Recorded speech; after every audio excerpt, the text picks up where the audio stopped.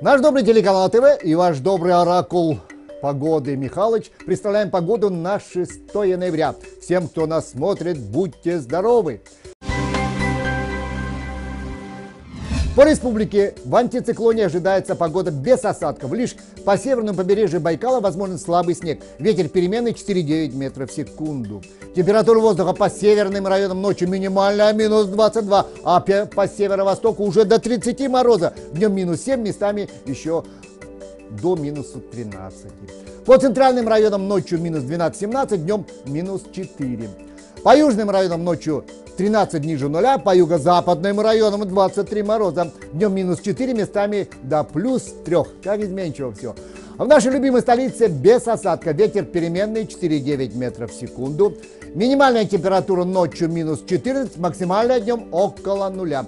А атмосферное давление будет медленно падать.